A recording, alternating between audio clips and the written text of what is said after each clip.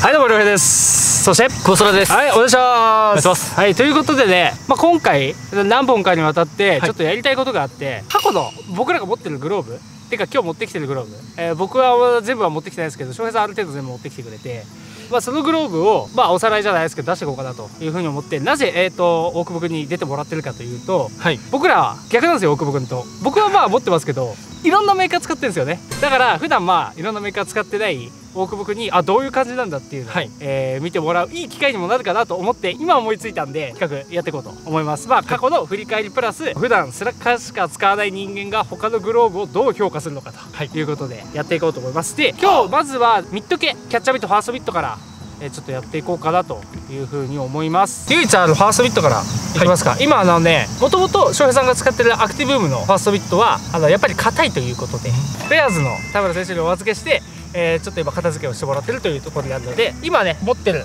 唯一のファーストミットこちらです。オープンワールドのファーストミットになります。これが確かキップレザーだったはずなんですよね。で、えっとキャメルのグローブで確か公式用だったはず。あの公式用で、まあ、当時の定価は2万5000円ではい。触ってもらっても、あのはめてもらって大丈夫なんで、ちなみにファーストビットもう一個持ってるのね実は。ナイキのあああれあれか。大阪の。大阪の優作さんっていう、ん。あの視聴者の方から、はい。もう野球やめるから託すって言われてくれたのが家に大事にしまったやつうん。一回動画出してましたもんねそれも。どうですかこれは。なんか思ったよりなんていうのかな。しっとり。しっとりも、うん、しっとりしてる感じ、うん。なんかもちもちしてますね。この背面のなん張りがあるっていうよりも本当にもちっとしてる感じの。あグローブが柔らかいっていうよりかは皮が柔らかい。っ皮が柔らかいですていうような多分認証を持つと思います確かに、はい。でもしかしたらえっとまあちょっとね外国チックなあそうですね。あのーイメージが。ローリングスとかぼわっとした感じ、はいはいはいはい。に難しいですけどそれに似てるかなと。補給感的には多分包み込む感じだと思う。ボールが吸収されるような。柔らかいし深い方なのかな、なんで確かに離さないかなというふうに思いますね。これで土手のところがシングル閉じなんですよね。普通の、まあ、スラッガーだったら当たり前のようにダブルですけど、そうです。ねこれ多分これもだからこういうところもメジャーよりで土手柔らかくはい。使えるっていう点が出てるのかなといったような感じがします。はい。じゃあまず1個目。オープンワンダの。ファーストビットでした、じゃあ次はね、えーキャッチャービット。キャッチャービットは翔平さんの2個僕の2個ちょっと出していこうと思います。でまずはこれ。はい。リオさんの。これは低価格帯のミットなのかな？かなり安いミットなんですけど、もう品質は全然公式用に使えるバンバン使えるよっていったようなミットとなっています。ちょっとどうですか？はい。全然これで低価格だ。そう。正直全然低価格って言われない言われても低価格って思えないうんうんうん。革質。あと芯がめちゃくちゃ硬いそうですね。まあ公式用ではあるので、はい。芯材としては。中学生とかはいにすごいいいんじゃない？公式中学とかで。すね。あとはまあ公式1年生の、えーキャッチャーの子とか。はい。最初に入る時にはまあ低価格帯の、えーミットいいんじゃないかなというふうに思っています。色はこれあれでローズブラウン系かな？赤じゃないよね。小豆に近いような感じと型としてはどうですか？型が親指でこう引っ掛ける感じのうんうん。ミットに感じます。まあひねり系に近いのかな、はい、ひねり系に近いですねえーこれディオの低価格帯のミット、おさらい1個目、えーキャッチャーミットおさらい1個目でした。はい。はいじゃあ次はこちらです。はい。アクティブームのキャッチャーミット。ベアーズの、えー町田選手にお渡しして、えー片付けしてもらってました。なんせ硬かったんで。で今はもうね、えっと、この前ちょっと磨きましたけどこうやって動くようにはなっています、はいじゃあちょっとこれをレビューお願いします、ありがとうござい。ますあすごい結構これ使ったと思うんですけど、うん。やっぱ公式用っていうのもあると思うんですけど芯材の硬さと手のフィット感、うん。かなりいいと思います。強みがあるよね。はい。そう強さ？強みがミットに出てる。だから公式をまだ独立リーグ、えーでどんだけ受けててもある程度やっぱ硬さは残ってくれてるっていうそのミットとしての強さあるのかなというふうには思います、でねマッチの部分が面白いんですよちょっと。ここがそう補強されてるっていう。ここがよーく見ればわかるかな。マッチの部分が皮プラス1枚で補強されてるんですよね。えっと昔のグローブでいうとターゲット加工みたいな。ところのイメージで普通に皮を補強してあるっていうような感じです。なんで動画は同色補強なのではい。高校野球使えるはずだと思うんですよね。単なる補強のはずだから。ターゲットで色変えてるわけじゃないから使えるはずの、えー、とキャッチハビットです。でまあおしゃれなところはね、えー、とラベルの色が本体と一緒だったりとかするようなところで比較的親指芯は薄めかなと。結構、はい。個人的に今までにないグラブかかなって思いました、まああとはリガの選手が片付けてるんだからそれはいい方にはなるよねっていうような感じのキャッチハビットです。はい、じゃあここからはちょっと僕のねえっともう普段使ってないような結構懐かしのはい。えーキャッチャービットを出していこうと思います。まずこれスラッカー。はい。でこれは東京支店さんでえっ、と、まあ、ちょっとね行ったらあなんか欲しいなと思って買っちゃったやつ。これははめたことはあるよね。あったかな？これは初めてだと思います。初めてか。はい。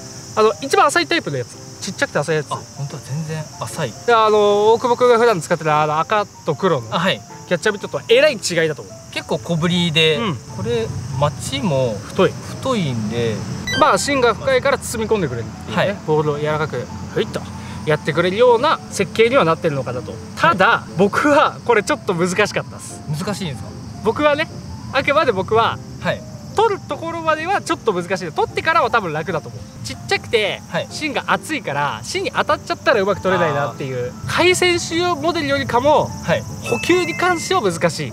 掴むことに関しては楽っていうようなイメージ。補給と掴むちょっと違う認識だから。だからそういったところで言うとそこは若干あるかなでやっぱスラッガーのちっちゃいはい。ミット。グローブでいう TQS だっけ？藤本さんが現役の時に使ってたもののキャッチャーミットみたいな。個人的にスラッガーのこの浅めのって初めてはめてみたんですけど、これ結構、まあ、トレーニング用じゃないですけど例えば試合前に受けたり試合前に受けたりとかは全然使いやすくなるかなと、うんちょっと全く使ってなかったんで僕もちょっとずつこれはい。使おうと思います。はいじゃあ最後のね、えーミットになります。僕のミットになります。最後はい。懐かしいっすよねこれ全然出さなくなっちゃった。使わなくなっちゃった。1年間ぐらい使ってないです。カムイのキャッチャーミットです。でこれなんで使わなくなったかっていうとこれウェブ見てもらえばわかるかな？ウェブを変えたんですよ。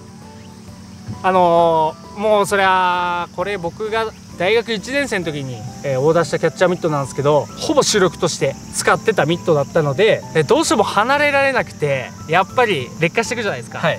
でウェブ切れちゃったんですよ。もう変え時かしゃあねえかって言ったんですけどやっぱりちょっと使いたくてウェブを変えてもらったはいいもののウェブこれやっぱり硬くて既製品のウェブって公式用しかないんですよね、はい。置いてある。大体店に置いてあるウェブって公式用しかないからここだけやっぱ硬くてちょっとやっぱ感覚がずれちゃったんですよ。まあたまにと練習前とかで使ったりとかっていうのもありますけど基本的には今もうなんちょっと普通には出さないで鳴らし段階はい。みたいなキャッチャーミットとなっています。ちょっとこれはい。わかるでしょ？わかりますめっちゃくちゃ硬いです。ウェブだけ。あのー他の結構新品のまあこの結構紐がキュッと縛ってあるっていうのもあるかもしれないですけど、でも練習でとかまあ例えば極端ですけど雨の日とかうんうん。で撮るっていうのも全然いいかなと思います。そうですね。そこまで。今はまだちょっと普通に試合にはまだちょっと早いかなとは。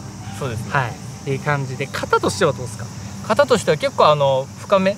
うん。ウェブ下で撮るっていう方例えばその小学生、まあ、中学生とかっていうのは結構まだウェブ下で撮る方とか多いと思うんですけど、まあ、そういう方、まあ、サブポジションでやる方とかっていうのにはおすすめかなとそう結構ねえっとオーソドックス。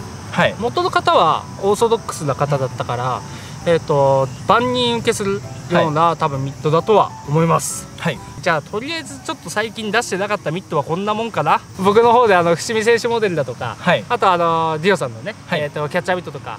そういうのは今僕ちょっと主力で使ったりとかははい。してるんですけれども、まあ、家から引っ張り出してきた、はい。えーグローブということで今、えーこちらのグローブ、えーまあ、翔平さんも最近あんまり使ってないような、えーミット類を。そんなこと言うなよ。だって実際そうでしょ まあをちょっと今回は紹介させていただきました。どうでした？スラッカー以外は。スラッガー以外であの今まではめてこなかったの、うん。やっぱアクティブームのキャッチャーミットが一番衝撃を受けたかなと、うん。まあ真逆だけどね正直。そうですね。真逆だから衝撃受けたんかな。衝撃受けましたね。この街の部分うんの張りと芯の強さはいはいはい。に衝撃を受けて、まあ、ぜひこれはでも個人的に使ってみたいなと思います。町田君がやってくれたからね。じゃあ町後で町田行くか。俺は行かねえぞぜって はい、えーということで本日はこちらのね、えー、と5個のミッド類、はい。えーの久々の紹介、えーということをさせていただきました。あの、はい。皆様ね久々に見たえーグローブミットがあるとは思います。ちょっとね、えーこれを機にあこのミットいいなというのが、えーまたあったらぜひそのミット、えーちょっと調べて購入とか、えーチェックとかしてみてください。はい。はい、えー本日の動画は以上となります。チャンネル登録コメントグッドボタンよろしくお願いいたします。それではありがとうございました